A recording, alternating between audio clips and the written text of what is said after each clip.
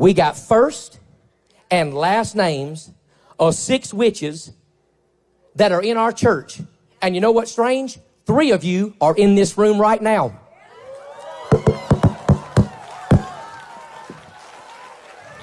Three of you in the room right now. You better look in my eyeballs. We ain't afraid of you, you stinking witch. You devil worshiping Satanist witch.